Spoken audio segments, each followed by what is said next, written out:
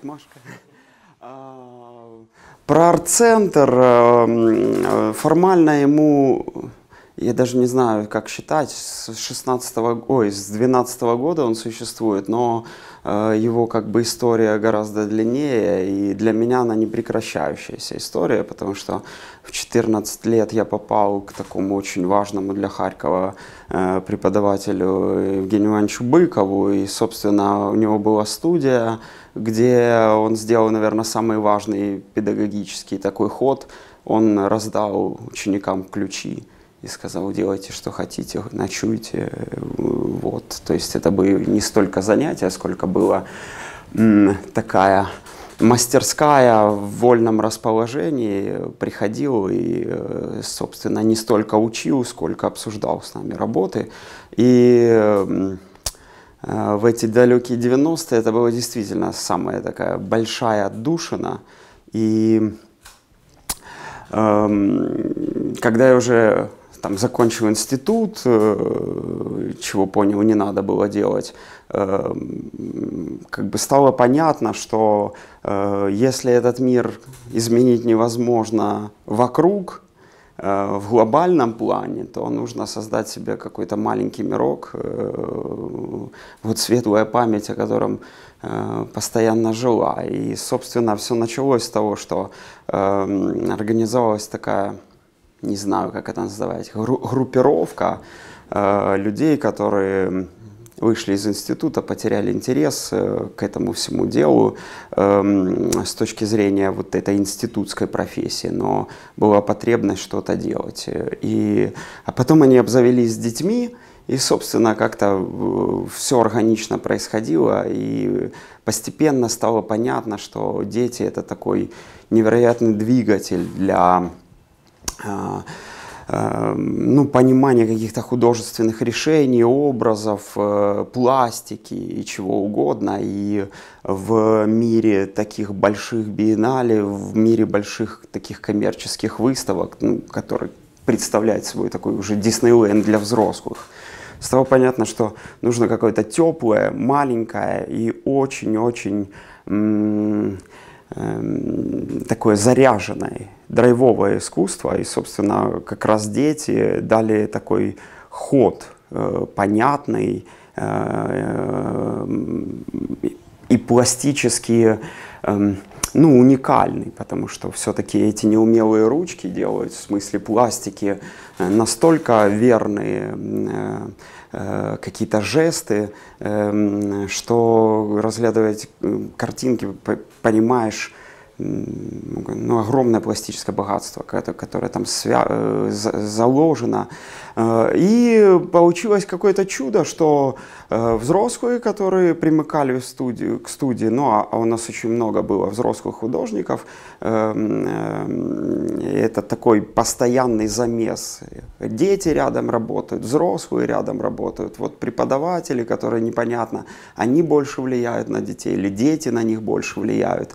И все пришло к такому несколько, эм, эм, ну, как сказать, коллективному разуму, да, вот, что деятельность студии – это некий коллективный разум, и э, непонятно, э, вот как раз э, с точки зрения есть преподаватель как некая тоталитарная да, личность в обычном обществе, что он говорит, я носитель истины, так нужно делать. Вот. И получается, что он учит какому-то своему взгляду ну, из определенной щели на искусство. А, а здесь получилась несколько другая история, потому что большое количество детей, которые здесь учатся, большое количество взрослых, которые здесь и учатся, и как бы примыкают к этой студии, сделали такой удивительный сплав, когда идеи кочуют, и техники кочуют, и э, преподаватели начинают э, э, как бы вести э, некую тенденцию уже не из внутреннего, Э, внутренней какой-то наученности или знания, а вот уловить эту волну, которая создается э, здесь. И э, мне кажется, именно поэтому это уникальная история, потому что тут все друг друга учат, все друг друг, на друг друга влияют. И главное, что э, создалась какая-то территория э, такой, э, значит, свободы э, при большом количестве участников э, в этом творческом процессе. Э, получается некое отсутствие догм. И даже более того, э, появляется конкуренция за уникальность, потому что и технические методы много раз повторяются, и сюжетные методы много раз повторяются, потому что в большом коллективе создается, ну, как бы мода на технику, сюжеты, подачу и прочее, прочее. И э, тот там ребенок или взрослый, который выбивается из э, общего Эм, такого положения вещей, э, он наоборот э, будет поддержан, и вот эта его уникальность будет эм, как бы охраняема. Большое количество совсем маленьких у нас участников, которые э, дают э, э, ну такую э, совершенно бешеную да, энергию студии. Вот, например, мальчик Федор, работа, это совсем свежая, она еще, он мокренькая. Да, вот он пришел и забахал такого э, э, чувачка Федору почти 6. И, собственно, вот такая получилась не работа, а драка, да, с листом, где слой, слой краски чуть ли не в палец толщиной, и, э, собственно, было эм, такое заглядение смотреть, как э, этот человек не столько рисует, сколько дерется с этим листом. И, собственно, у маленьких вообще живопись превращается скорее э, в такой энергетический поток, да, взрыв. Эм, это очень, очень такое напористое рисование. А, и, конечно, вот этот весь э, эм, ряд, когда краска не столько картина не столько пишется, сколько выскабливается, кидается, швыряется в нее, какие-то там валики, скрипки, какие-нибудь, не знаю, даже когтями процарапает. Вот создает совсем, совсем такую уникальную вещь. И вот, кстати, такая техника очень влияет на всю студию, потому что, э, ну, если уж говорить о истории искусства, это вот применимо как раз какой-нибудь живописи действия и прочее, прочее. Есть совершенно вот другие там э, ребята, вот мальчик Антон, 14 лет, сделал такую э, картину, например, посвященную сельской дискотеке. Вот, э, причем тут э, дискотека э, село Эдишн, да, э, вот какой-то бар Само Дефизгон, вот, э, сельская драка, битые кастеты в руках, арматура в зубах сигарет. Вот он опис, описывает какую-то такую историю эм, э, сельской пати. Причем мы видим тут э, собрались какие-то удивительные образы, которые и реальные отчасти, и созданы, не знаю, каким-то, может, уже галлюциногенным воздействием э, препаратов. Ну, чай, чай это просто суп из листьев. Тут э, типичное такое сельское высказывание, когда есть есть рядом бар самогон. И, собственно, вот что человек делает? Он, он садится и делает такой непрерывный поток мыслей, любые свои какие-то повороты э, сюжета, образы льет как прямую речь. За этим очень интересно э, наблюдать.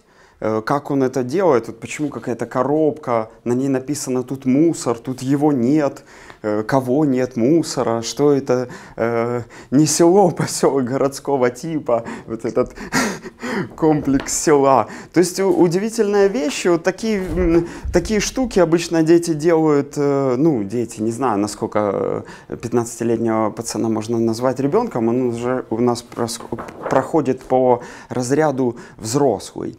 А, с другой стороны, есть очень вот умелые девоч, э, дети, вот девочка, Даша, которая рисует вот такого ребенка, она посмотрела фотографии э, есть такая определенная болезнь у человека, когда э, кожа сверхтонкая, да, ее практически нет на человеке, и это, этот, этот момент э, человека без кожи, да, которому болезненно любое касание, вот она как бы решила это все передать, вот это покрытое венками лицо, э, невероятно, мне кажется, выразительно. И, э, собственно, одна из таких драматичных тем, которые рассматриваются в студии, потому что обычно привыкли считать, что там ребенок должен рисовать какие-то светлые вещи, э, не знаю, солнышко, зайчика, еще что-то. Но, э, как, как показывает практика, вот такая драматургия, как бы прощупывание жизни, где она, жизнь становится твердой, а не мягенькой и такой солнечной. Это тоже очень характерно для детей, если их не э, забивают родители, потому что очень часто есть что такой прессинг родительский, что типа, что ты так мрачно рисуешь, это типа не твоя тема.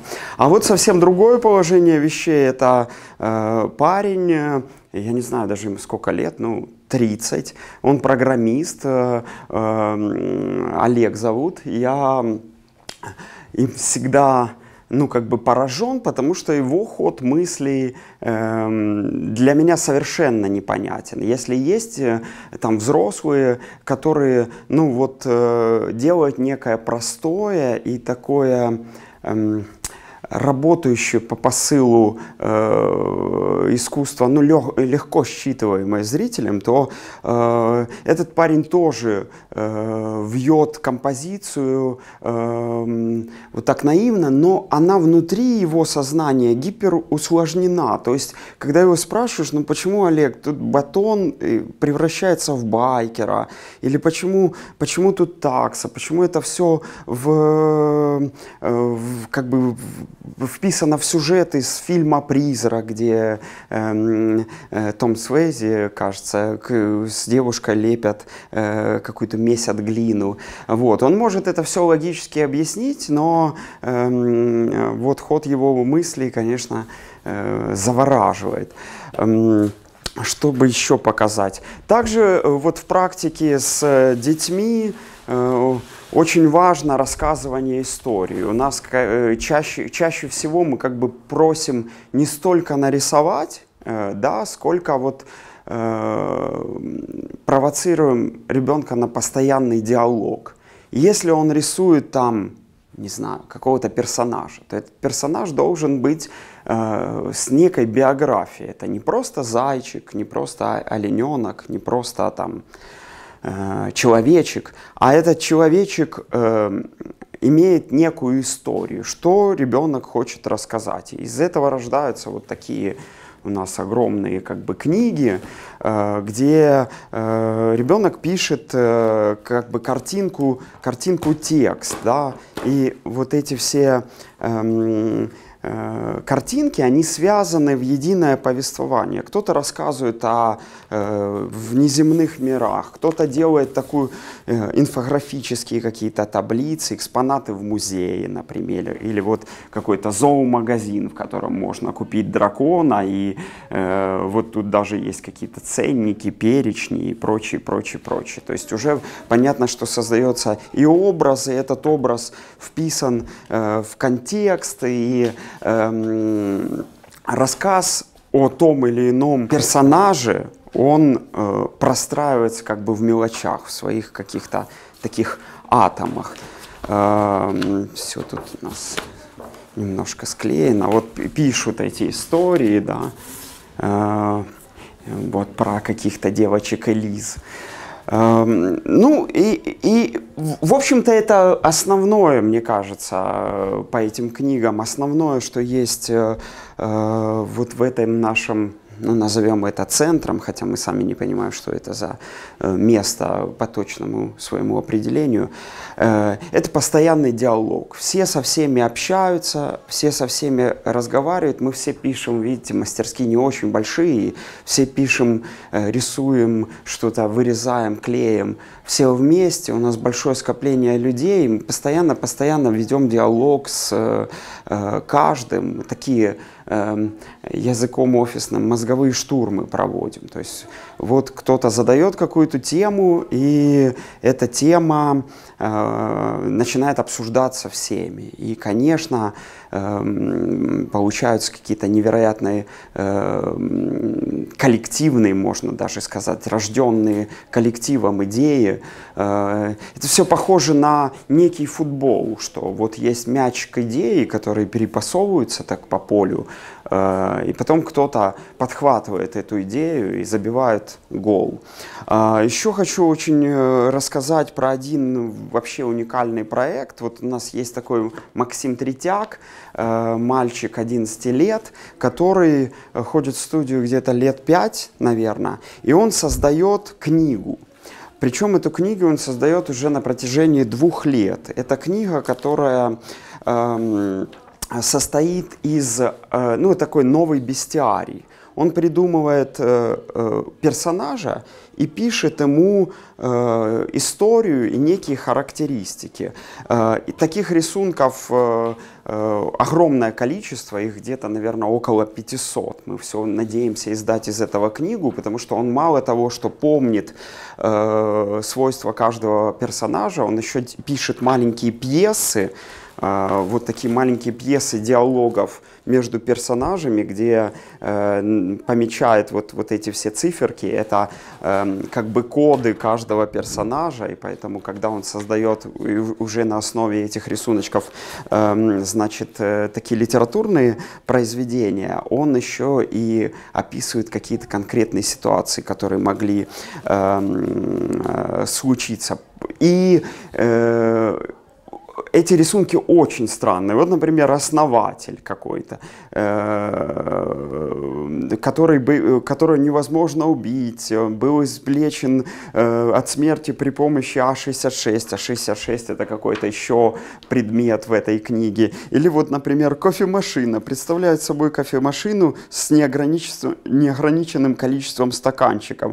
Э, слева от кофемашины есть клавиатура. Чтобы кофемашина работала, надо написать все, что хочешь, даже кислоту и жидкое золото. Перезаряжается кофемашина час. Вот он, каждый этот предмет или вот э, недописанная бумага представляет собой бумагу, на которой недописано слово «дай» ну, то есть смерть, э, сто, э, стоит хранить в стеклянном кубе 50 на 50 сантиметров. И каждая, каждая вот эта бумажечка этим э, ребенком осмыслена, каждый этот сюжетик. И тут есть некий внутренний... Эм, э, внутренняя взаимосвязь между этими всеми объектами. И что самое интересное, такое впечатление, что он не устает эту вселенную свою создавать. Потому что что он делает? Он берет некое место, придумывает этому месту легенду и начинает э, это место наполнять образами. Потом э, он понимает, что с этим местом все, как бы проект закончен.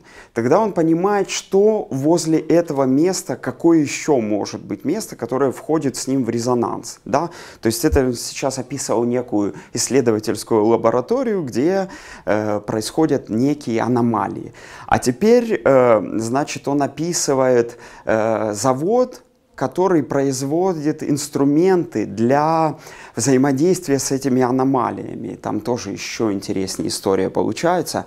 Вот. Э, есть некий конфликт, например, с родителями, что мы ребенка, вот э, э, преподаватели немножечко отстаивают перед родителями, потому что с точки зрения родителей это не прогресс. Это ребенок два года мурыжит, мурыжится на одном месте. Но мне кажется, это не так, и опыт создания собственной вселенной, это, наверное, самое важное, что э, может происходить в современном искусстве, которое представляет собой скорее э, из таких обрывков образов. Ну, то есть, если взять пример там, Босха и современного искусства, то э, весь Босх рас, э, расхватан на мелкие цитаты. Кто-то там заметит какую-то там э, маленькую подробность, и потом на ее основе делает какой-то большой проект. Но вот такой босховской вселенной практически никого не получается. И вот тут ребенок создает действительно свою огромную, сверхпродуманную вселенную. Мне кажется, это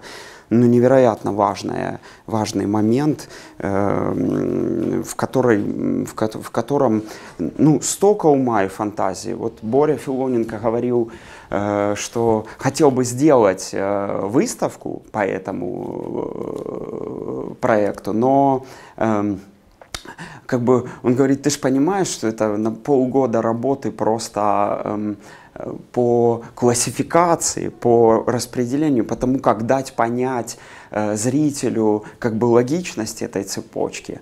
Эм, ну вот, вкратце про... Есть работы, эм, которые э, там ребенком создаются э, годами, Э, в прямом смысле этого слова. Вот эту работу, ну не то, что это делается каждый день, делается с большими перерывами.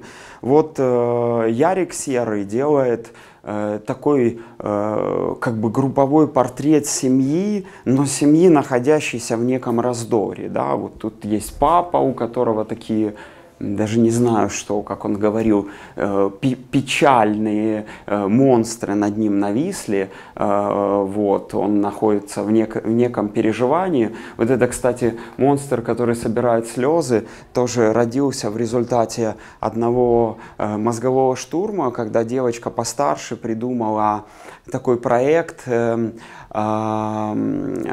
выращивания кристаллов из детских слез. Там был такой длинный механизм, когда э, дети плачут, эти слезы собираются, выпариваются через специальные там трубочки, и в конце концов выходят некие красивые кристаллы, которые вставляют в оправы и продают в качестве украшений. Вот он эту идею немножечко э, взял и по-своему перерешил. Видите, как бы каждый образ как бы отдельно вяжется. Вот тут вот такой мальчик ест бутерброд с колбасой и сыром, тут птичка хочет этот бутерброд съесть, такая мамаша висит. И, собственно, вот он создает, создает образы, которые выклеиваются на большую э, на большой фон, как мы это называем, декорации, вот такой.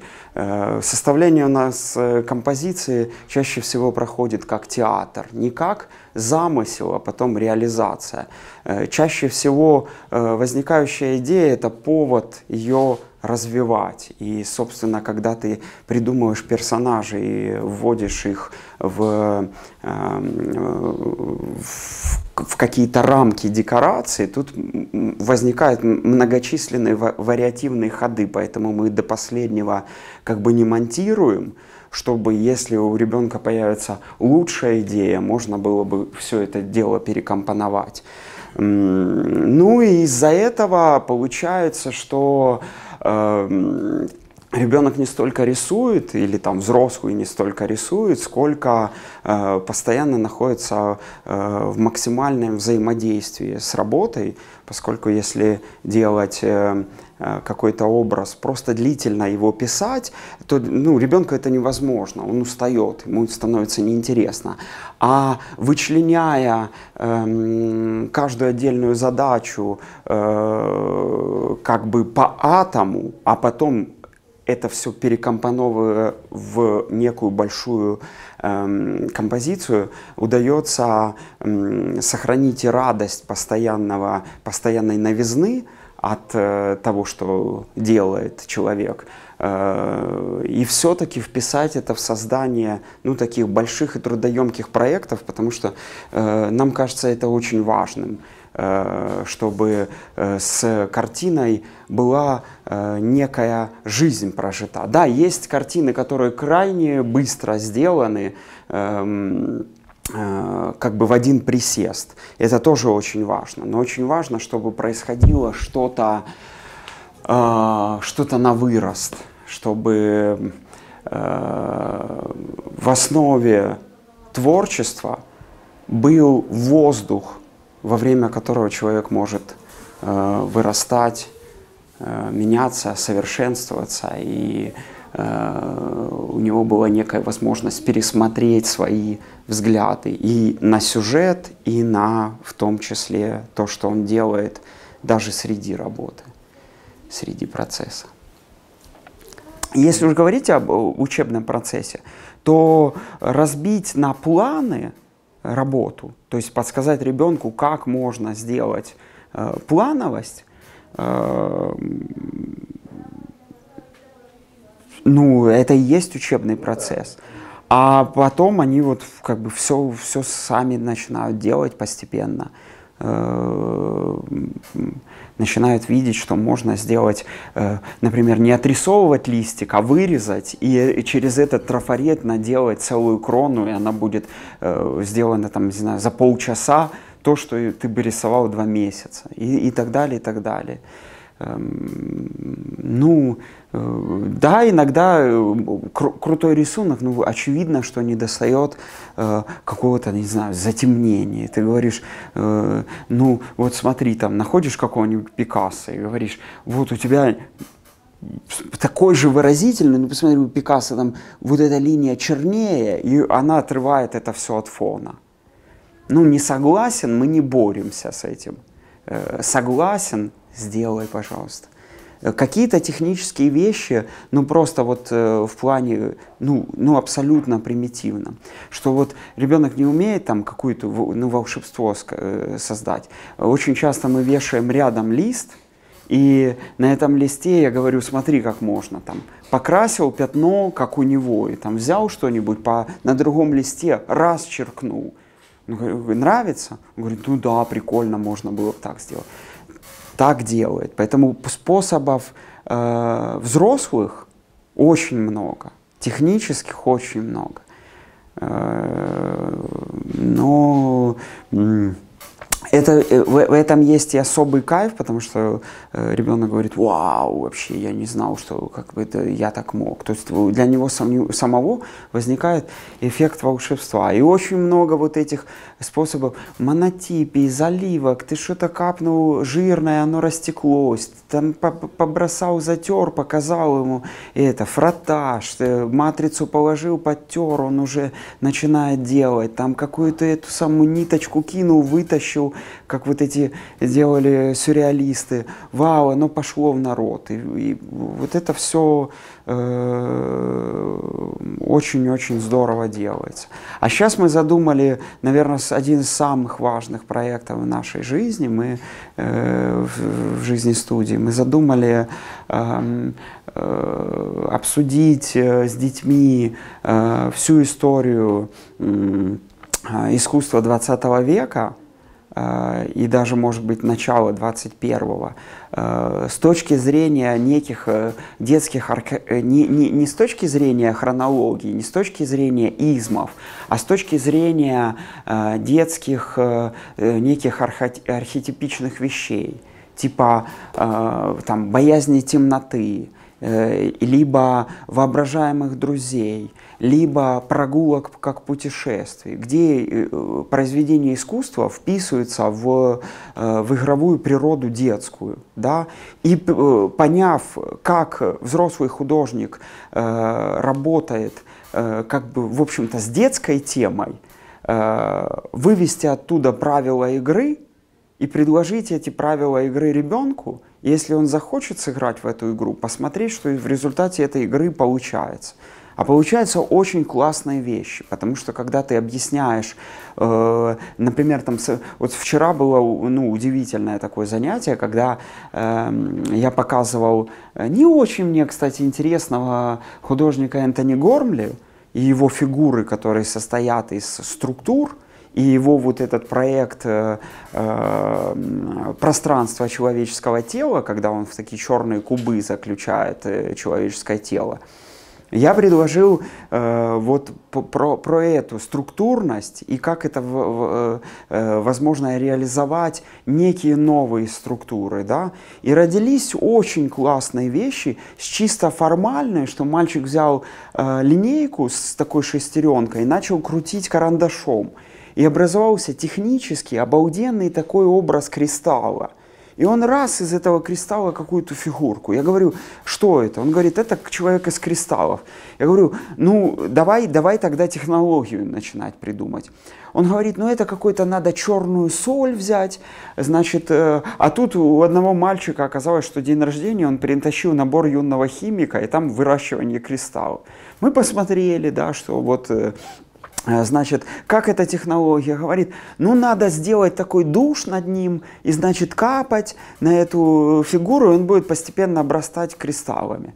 Э, и он нарисовал вот эту схему, уже дорисовал, как производится эта фигура. Я говорю, окей, вот есть что-то э, твердое, давай подумаем, нельзя ли в каком-то другом роде создать, какую-то эфемерную историю. Сидел, сидел, думал, говорит, надо взять трубочку, в эту трубочку нагонять дыма, а, а трубочку прозрачную наре- э, э, делать любое изображение, просто чтобы оно стояло. И через дырочки будет выходить дым и рисовать любую фигуру. Я говорю, все, рисуй давай вот эту схему. Нарисовал схему, эту дымомашину и этого человека, который из трубочек, ну, из этих выходит, э, значит, дым. Пришел второй мальчик, говорит, э, о, я тоже хочу. Э, я говорю, ну, думай.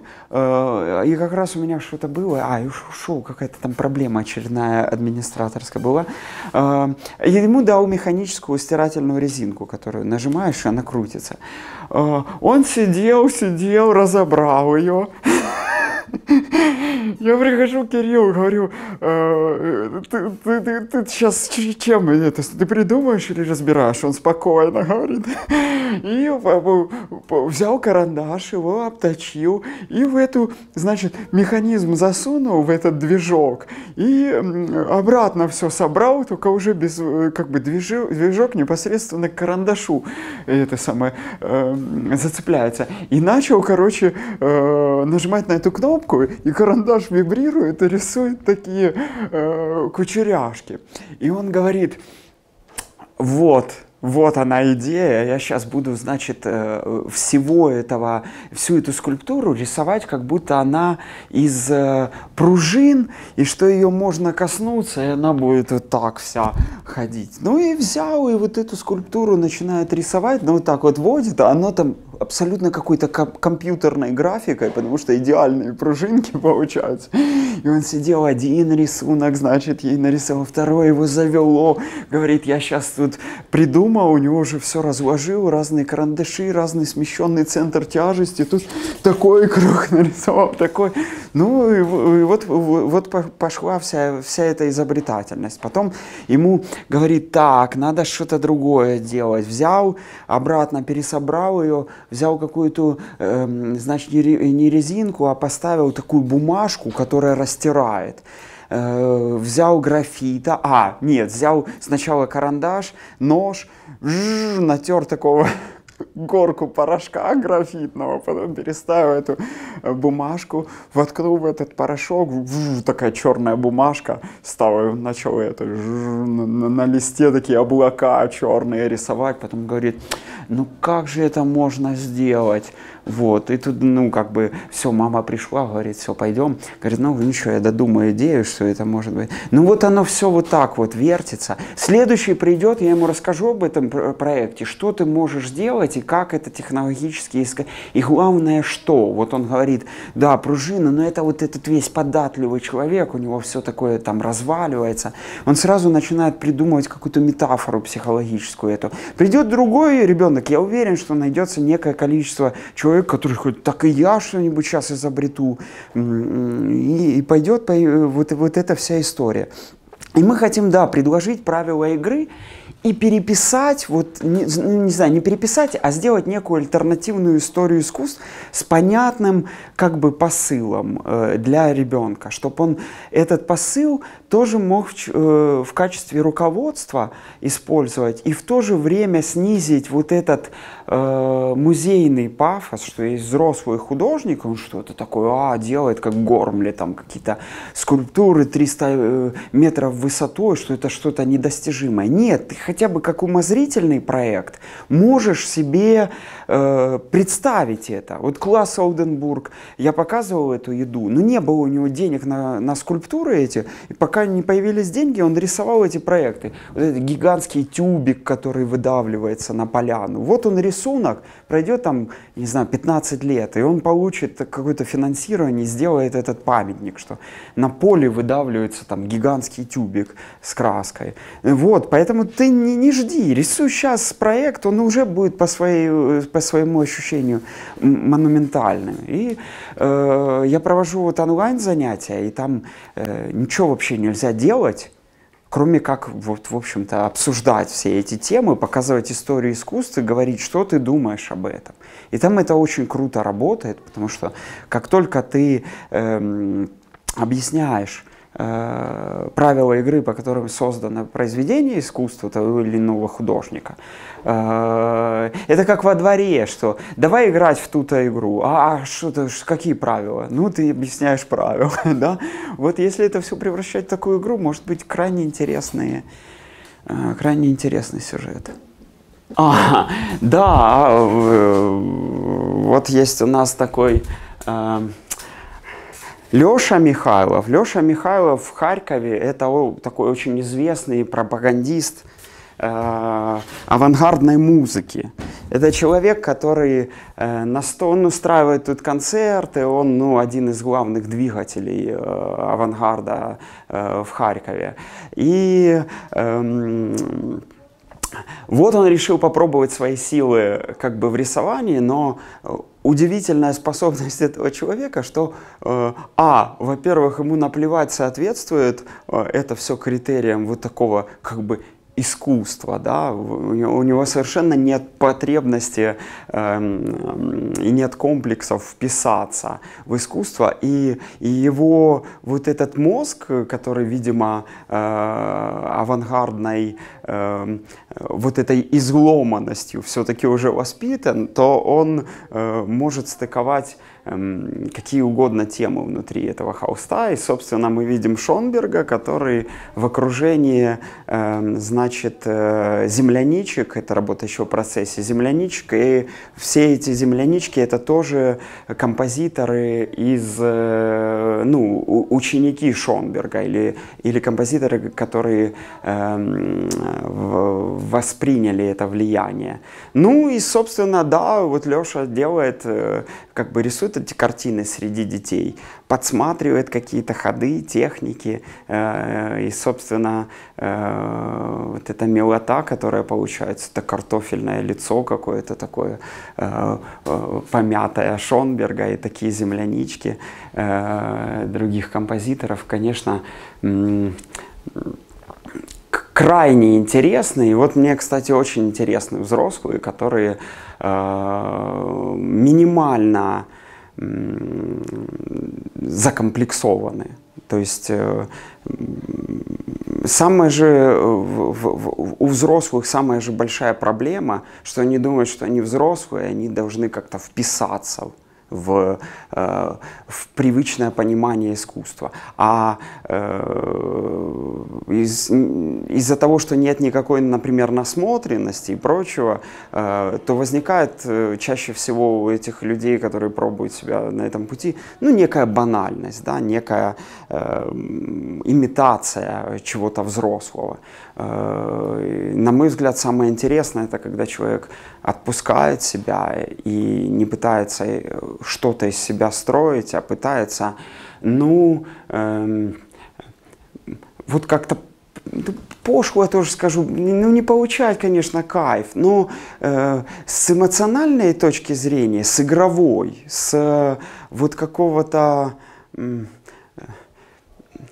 ну, как бы внутреннего озорства. Это гораздо интереснее. И очень хочется, чтобы действительно этот период между э, его шестью э, годами человека и там сорока годами, он как-то схлопнулся, и человек почувствовал абсолютную свободу э, ребенка.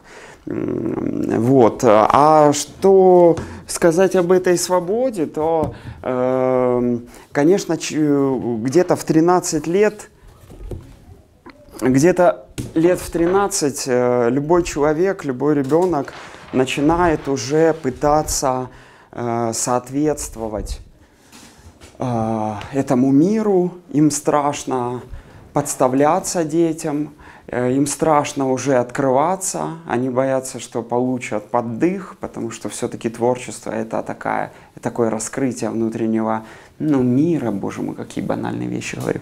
Э, и вот это раскрытие, оно всегда, как, как этот Дашин ребенок, оно всегда немножечко, э, мы без кожи. И вот в 13 лет где-то ребенок начинает обрастать этой кожей, чтобы защититься от этого, от этого болезненной какой-то внешне защититься от болезненной эм, э, ситуации там, с обществом, с родителями, с недоверием э, сверстников. Э, и, собственно, э, тут причина какой-то э, банальности всех художественных процессов, которые мы наблюдаем вокруг. Э, и причина того, что мы очень мало видим реального, искреннего человека, потому что искренность очень часто художники прячут. А э, мне кажется, художник может быть интересен только своим уникальным опытом и своим уникальным взглядом, и своей какой-то неповторимостью. Если он имитирует э, процессы, если он э, как бы учится встраиваться в систему, а не учится э, влиять на систему э, своими какими-то подлинными э, качествами, возможностями, достижениями, э, то это ну, история уже очень неинтересная. Вот. А способность оставить внутри себя игровую природу ребенка, вот это озорство ребенка, мне кажется, это одна из таких важнейших задач для э, искусства, если, если художник хочет быть подлинно интересным.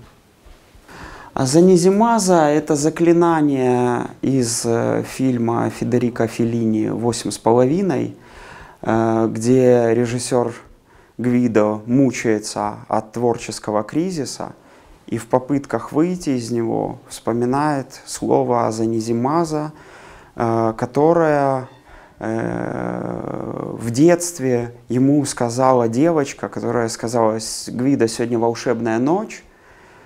Если этой ночью произнести заклинание, то портреты оживут и э, глазами покажут, где скрывается сокровище. И она говорит, ты помнишь э, заклинание Гвида? Аза низимаза, аза низимаза, аза низимаза. И э,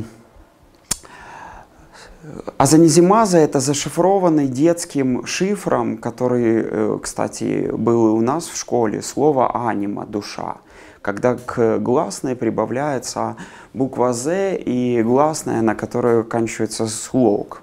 Отсюда получается «а», «за», «ни», «зи», «маза». У нас был такой шифр и в школе – вот иду в школу, было бы изи, дузу, шкозол, узу, да, этим шифром.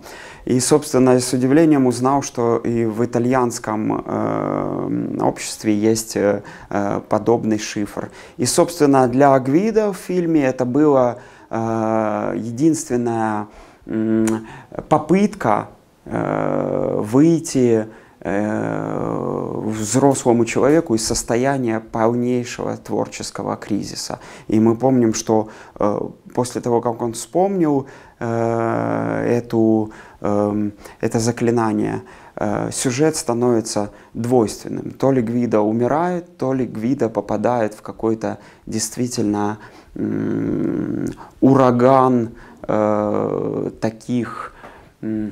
Образов метафор, на которых заканчивается этот фильм.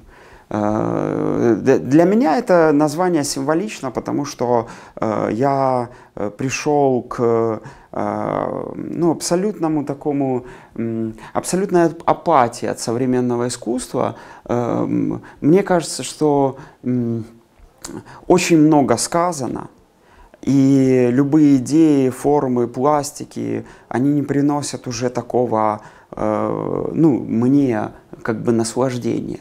А наслаждением для меня оказался вот этот коллективный процесс, замес. Я вообще воспринимаю студию не как эм, Э, не как э, некую организацию, которая там, например, учит рисовать или дает какой-то способ, ну не знаю, приятно провести время или еще что-то. Я воспринимаю эту студию как вот один большой художественный проект, который, если посмотреть на него, э, вот так вот с высоты, это сверхкипучий котел, где постоянно, постоянно э, происходят какие-то новые мысли. И я даже э, новые мысли, образы. И, да, и я даже вот с этим карантином, когда у нас был маленький такой маленький перерыв, ощутил вот эту пустоту, когда ты не находишься в состоянии постоянного бурления, этого замеса. Э, и, собственно, для меня, если есть в этом во всем действительно произведение искусства, то это произведение искусства э, вот эти мозговые штурмы, которые тут проходят, вот, эти, вот это трение э, бочком друг от друга, вот эта миграция и эволюция идей от одного человека к другому.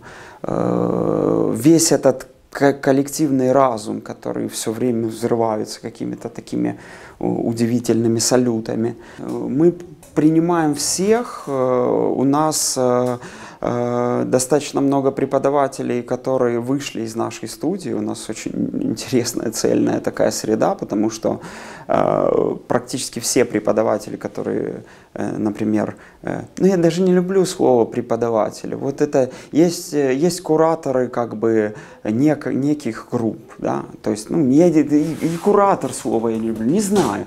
Вот есть человек, который ответственен за атмосферу э, среди тех людей, которые к нему приходят, да, ему надо, надо как-то, чтобы э, у него создаться, создался этот движ. Так вот, все эти люди, они тоже вышли из э, детей, нашей студии. То есть они выросли и теперь преподают.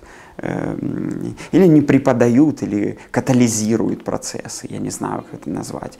Эм, потому что, опять-таки, эм, Единственное, что тут можно подсказывать, это иногда подсказывать каким образом, э, ну, в разговоре, каким образом можно сделать, например, интереснее. Можно сделать интереснее в смысле, э, например, просто композиции. Что если сказать, что вот тут появится там какое-то темное пятно, да, то это темное пятно организует лучше композицию. И то, что у тебя, э, как сейчас вли...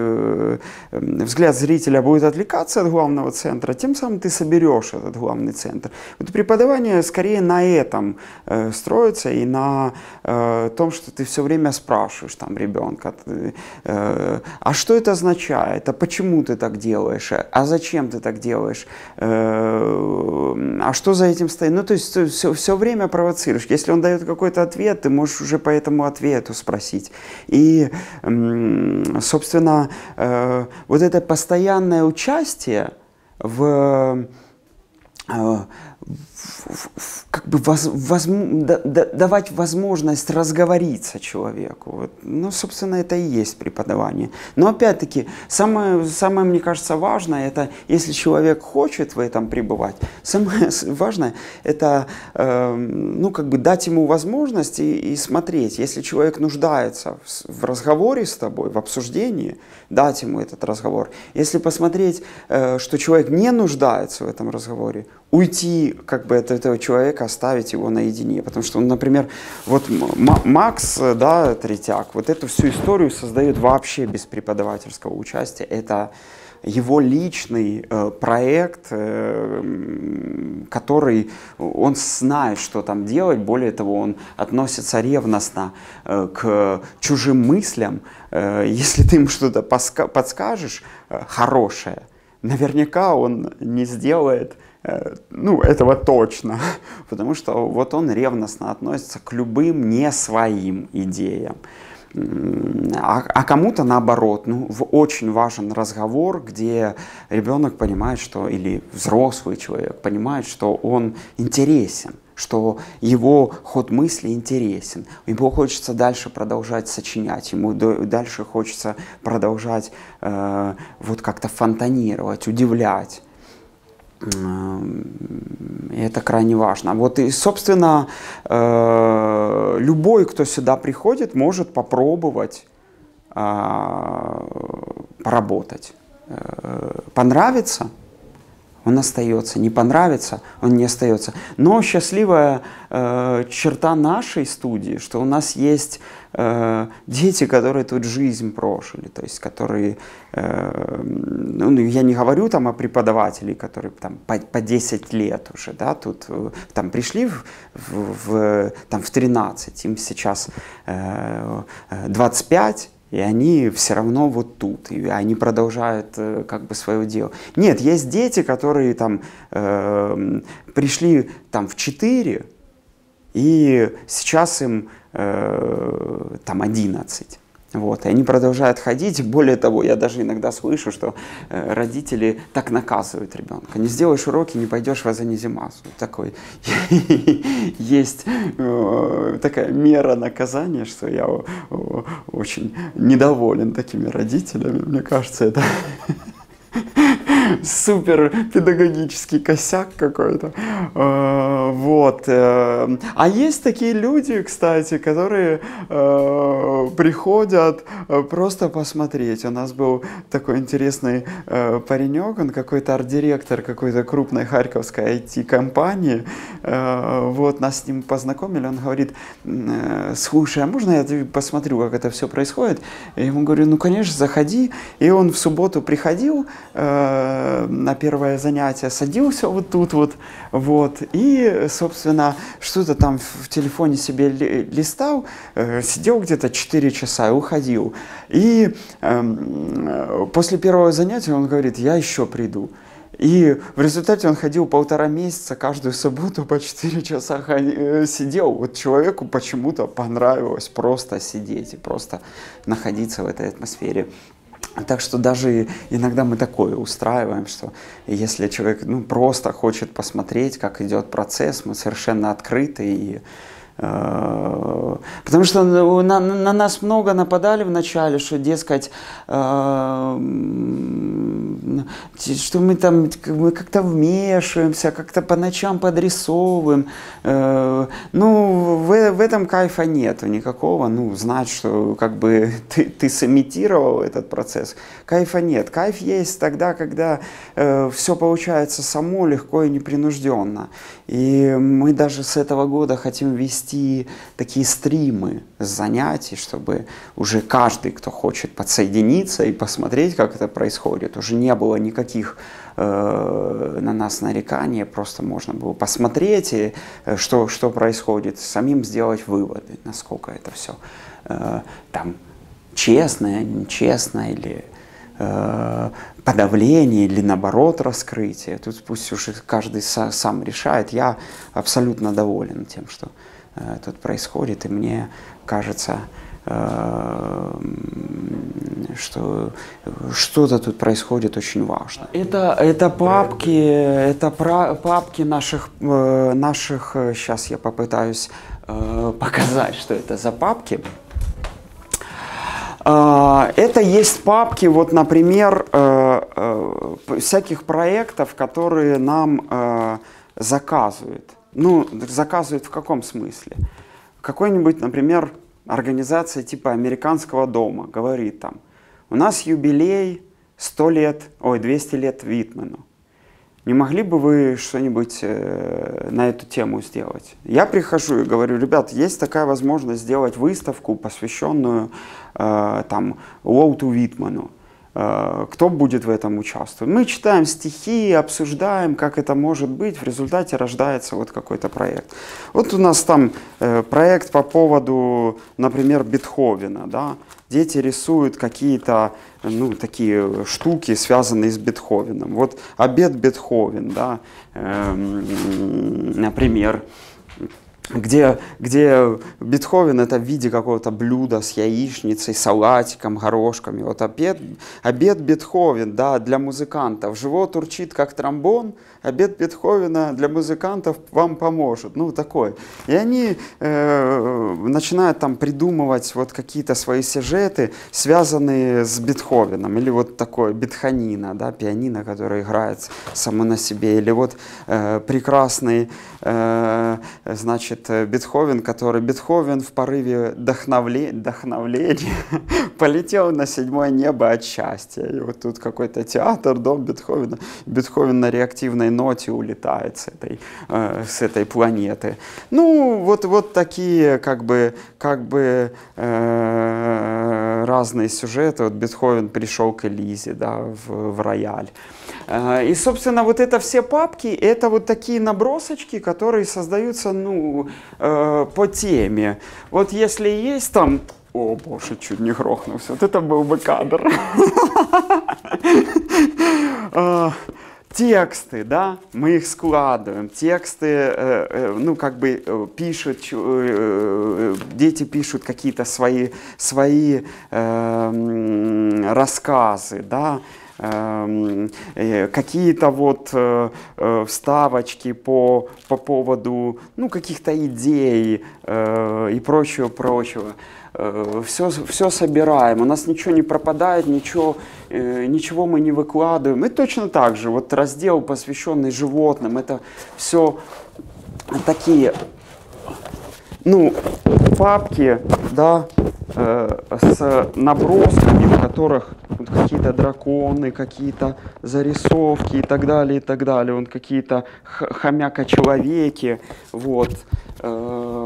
Так что Брэдбери, Брэдбери, это мы, э, оказалось, что огромное количество детей любит Брэдбери, он и в школьной программе, и мы решили просто по нему отдельный какой-то проект делать, где рисуем какие-то миры Брэдбери, вот э, э, какие-то задачи, ну, они решают, связанные с вот созданием каких-то иноземных, э, инопланетных, вернее, миров, э, каких-то э, там бестиариев и прочего-прочего. Ну и опять-таки это свой, ждет все своего часа, когда когда, э, может быть, вольется в какой-то новый проект. Просто если, если мы замечаем там какую-то тенденцию, то эта тенденция, э, ну, как бы в, в отдельную папку складывается.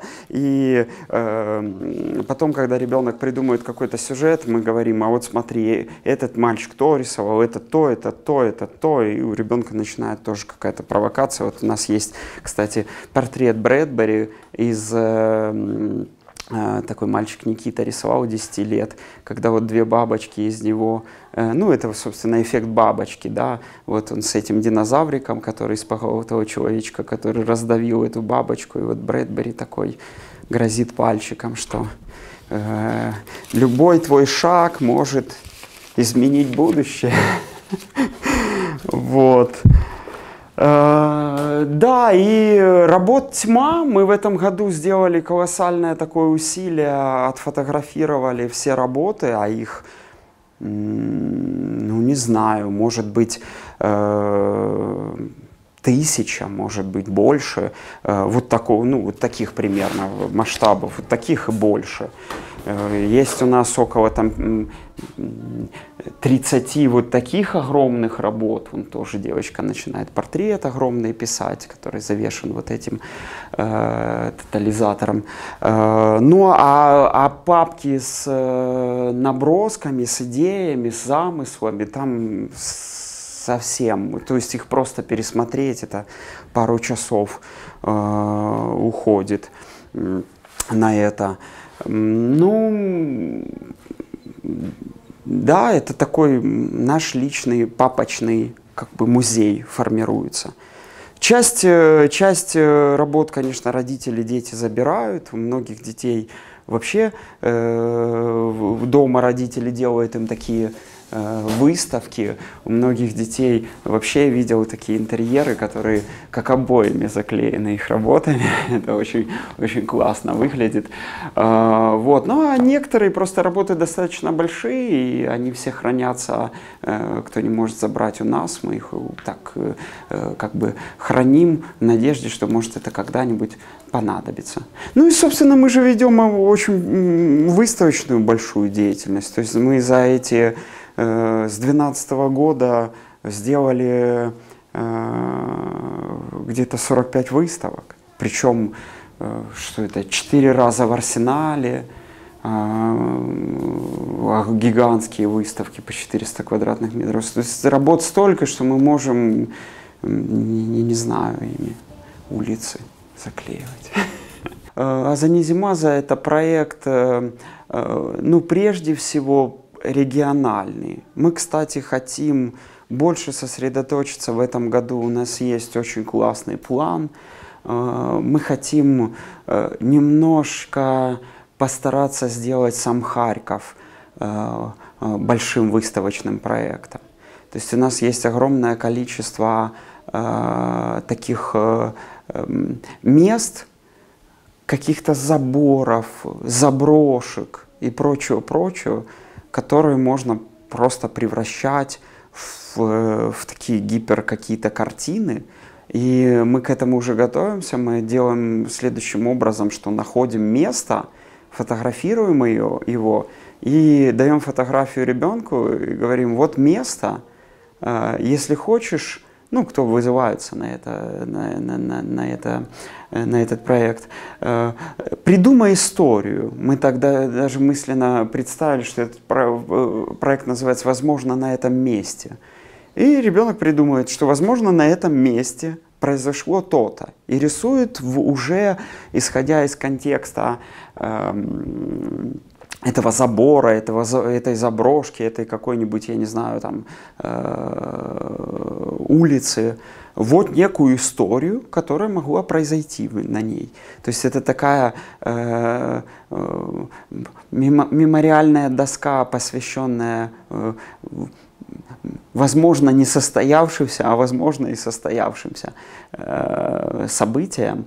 И мы хотим немножечко вот, вот этот весь э стрит-арт попробовать э, в этом году. Э, в прошлом году мы начали к этому активно в этом активно разбираться и что-то создавать. У нас есть вот такая же папочка вот этих вот проектов, я просто вижу, что ребенок, который делает любую вещь с пониманием, что на эту вещь будет реакция, то он ее делает совершенно уже с другим отношением. Совершенно с другим отношением. Если ребенок знает, что он делает некую иллюстрацию и понимает, что он делает иллюстрацию для реальной книги, он делает это совсем с другим отношением. Если ребенок понимает, что потом его этот рисунок, э, из него сделают огромный стикер и вклеит на то место, для которого он его рисует, он делает это совсем с другим отношением.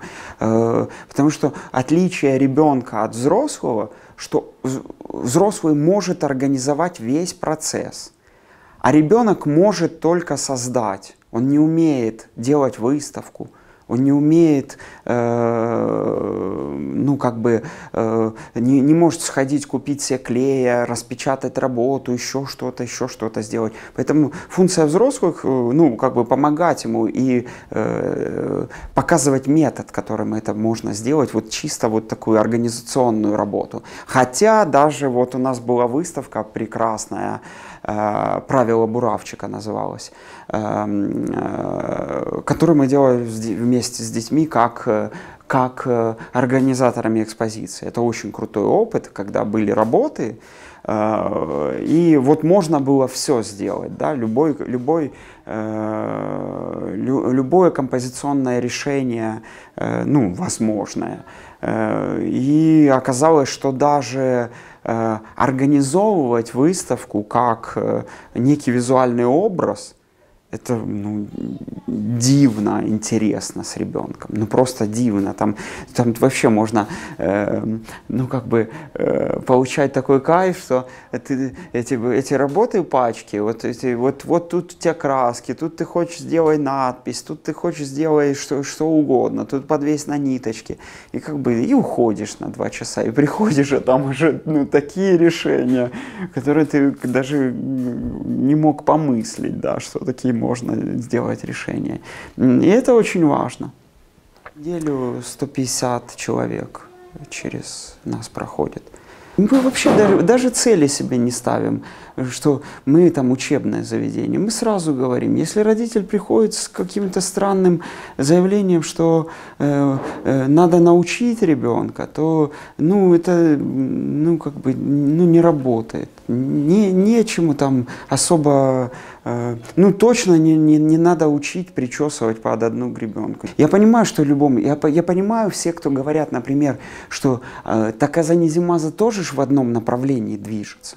Но тут не надо путать как бы обобщенность замкнутого коллектива и э, насильное причесывание под себя. То есть любой замкнутый коллектив, ну, взять семью, все члены семьи, они начинают э, э, как бы присваивать манеры друг друга.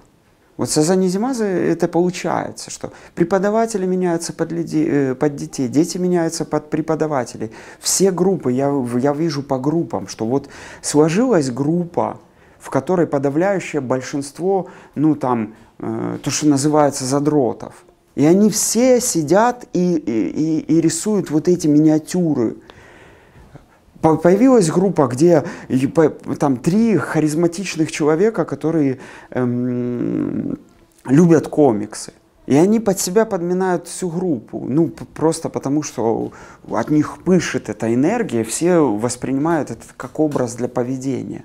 Но это органичное э, обобщение.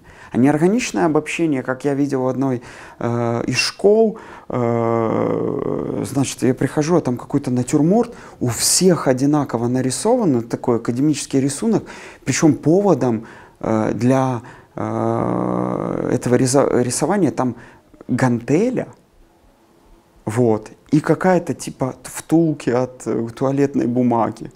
Ну, то есть я, я все понимаю. И это, и это даже настолько плохо, что уже даже, что уже даже круто. И э, я даже... Я даже представляю себе такую экспозицию, где вот эти 40, 40 гантелей на, на стене это уже такой образ мощнейший, что я даже уже как бы, ну, ну в, в, в плане высказывания все срабо сработало. Но э, понятно, как их там вообще прессингуют, что ты там это краевой контраст, это вот это тень перечернил, тут взял не, не, не, не, не черно, где точка схода, и вот эти все. Э, вещи.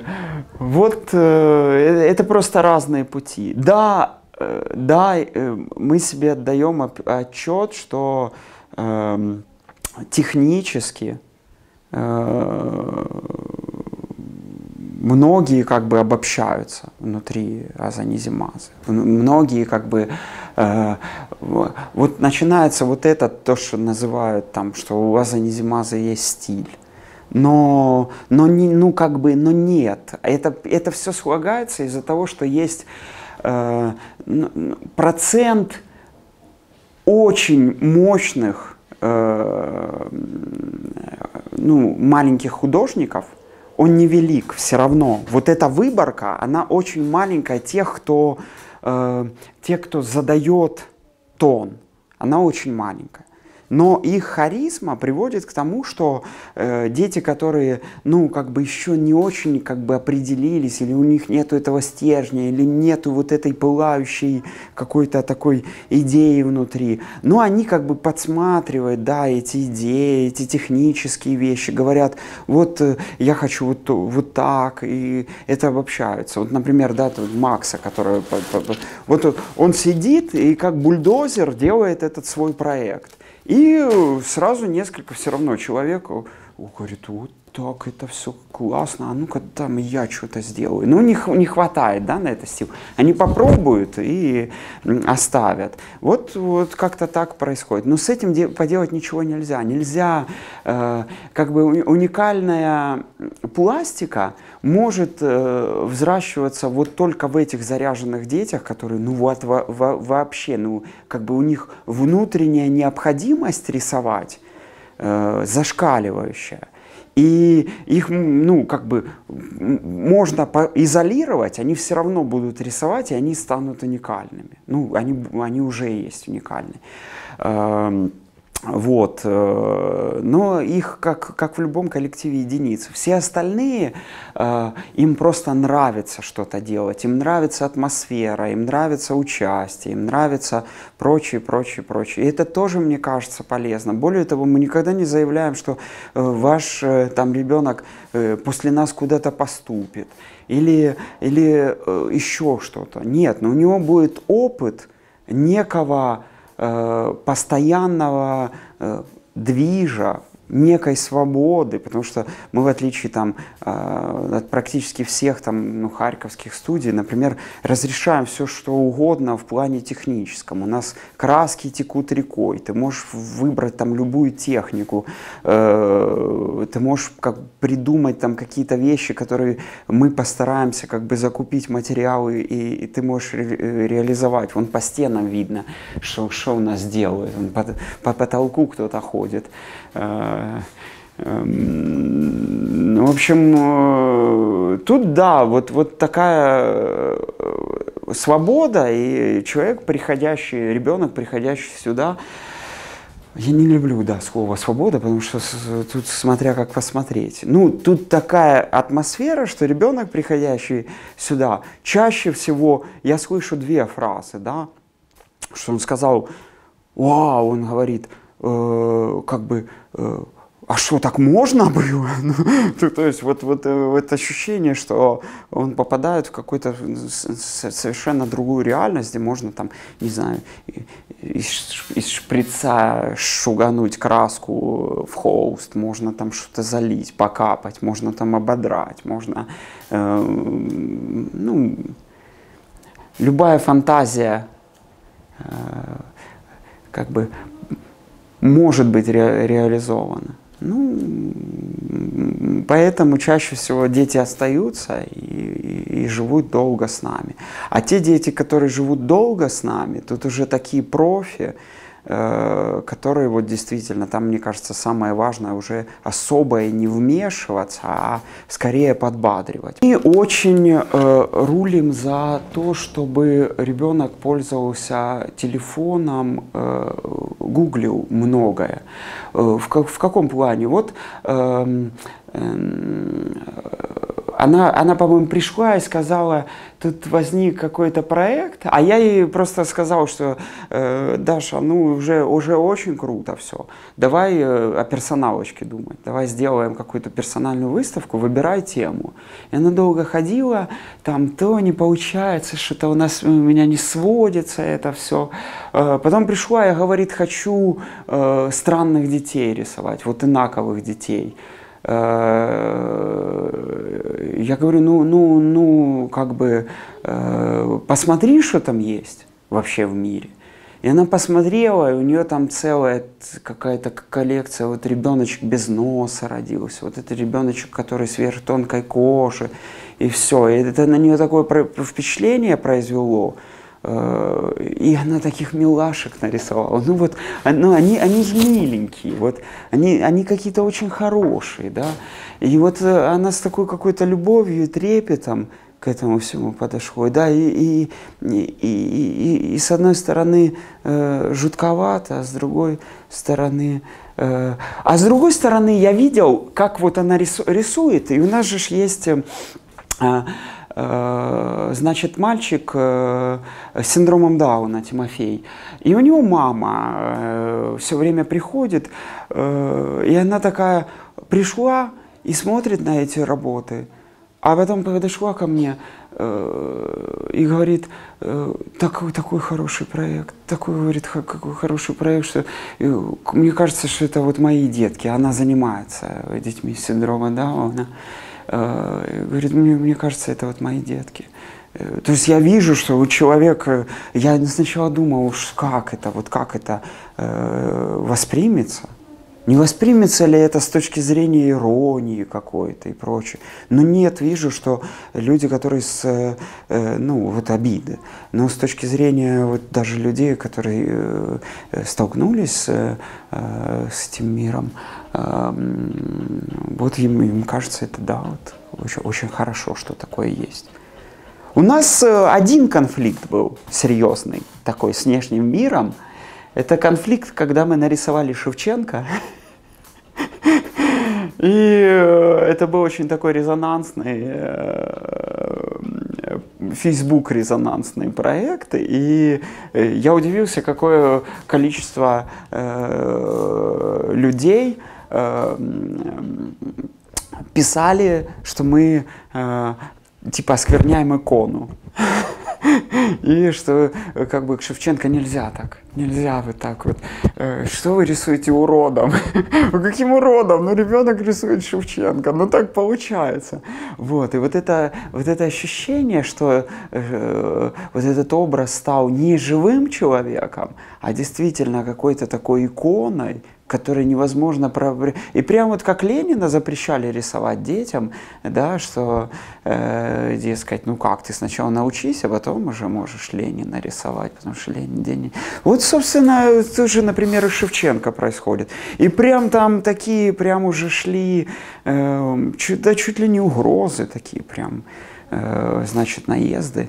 Э, даже вот этот, э, который порезал в метро эти плакаты Шевченко, даже он там присоединился, что Ставил свои пять копеек, в общем. Э, у нас есть девочка, которая, не девочка, девушка, которая ездит к нам на занятия из Полтавы.